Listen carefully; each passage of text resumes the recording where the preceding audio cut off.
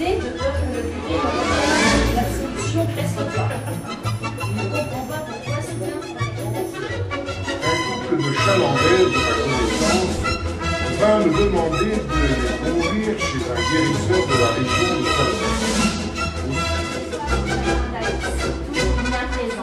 comme ça en surface, parce se de son mari, elle ne pouvait s'empêcher Lorsqu'elle entre dans la salle des fêtes, Marlène reçoit au visage une bouffée d'air surchauffée qui l'oblige à reculer d'un pas. Elle s'approche du vestiaire, il découvre une armée de manteaux et d'écharpes. C'était une très belle histoire là, t'as vu hein Quand on est comme ça, on est même au bal. Disait les petits anciens qui allons danser et puis qu'elle euh, parle en tous. Comment qu'elle est et tout. On va faire quelque chose. Bah moi aussi. Moi j'y ai. Bon, mais disais, allez. Un militaire vendéen s'apprête à prendre le train gare Montparnasse pour partir en permission.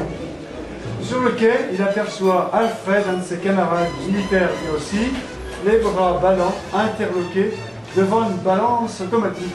Mais qu'est-ce que tu fais là, Alfred? Mais te parle qui s'est embêté, il pèse 0 kg. Qu'est-ce que tu dis? Mais on est vrai, il pèse 0 kg. Et il montre dans sa main un ticket indiquant 0 kg. Mais t'as mis une pièce dans la fente Mais oui, il a mis une pièce. L'autre prend une pièce, monte sur la balance, met la pièce dans la fente et reçoit le ticket. Tiens, tu vois, moi, il pèse 80 kilos. Ah mais merde, mais te monte dessus.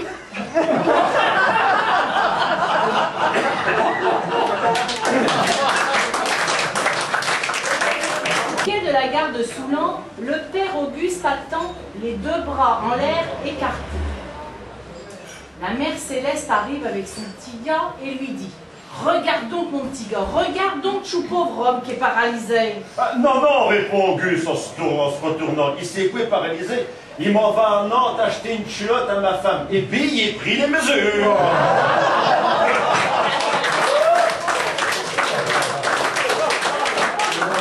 de la gare de Soulon.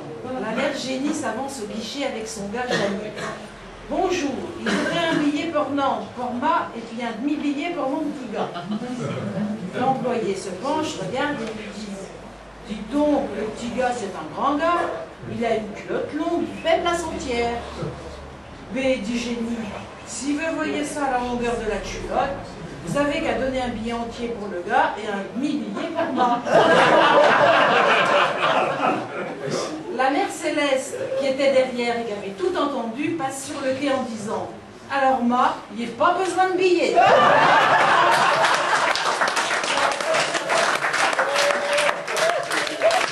quand même fini par trépasser. Tirebois, le menuisier, vient prendre les mesures pour le cercueil.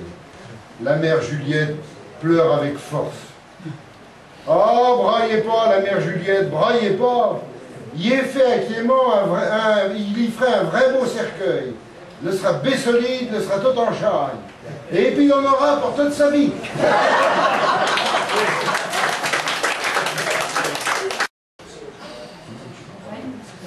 Le père Auguste vient faire une visite à Clément. Juliette, la veuve, se jette dans ses bras en braillant. Ah, pauvre Clément, as-tu souffert hein Ah là là, le malheureux. Ah, Mais euh, c'est-il vu mourir Ah ben oui, son lit était juste devant la glace.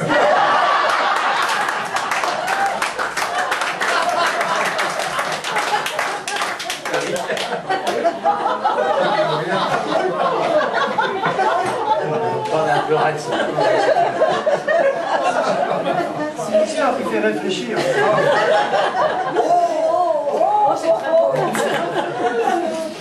Le grand Fernand arrive chez son voisin Baptiste, le trouve sous son hangar, suspendu à une poutre par une corde qui lui passe sous les aisselles. Mais que fais-tu, Baptiste? J'ai dit que tu fais de la gymnastique Non, il y en est marre de tout le monde. Il veut me suicider, il veut me pendre. Mais es-tu fou? Et puis d'abord, quand on veut se pendre, on s'attache par le cou. Eh, dis Baptiste, il essayé mon m'étouffe.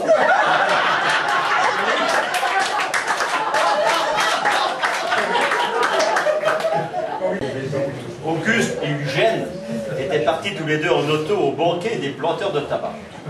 Le repas s'était bien passé, servi copieusement et bien arrosé. Avant de repartir, il avait bien fallu aller prendre un dernier verre dans la cave de Grand Fernand. Si bien qu'en arrivant à son auto, Auguste ne savait plus trop où était le devant puis, puis l'arrière. Enfin, les voilà grimpés tous les deux à l'intérieur et la voiture démarre.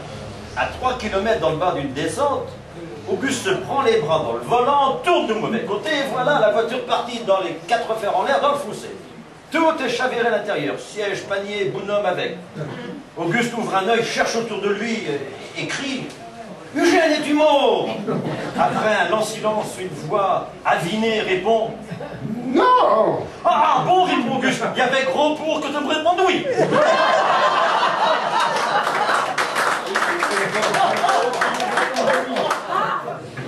Et d'autant plus mystérieux que M. Perrochon.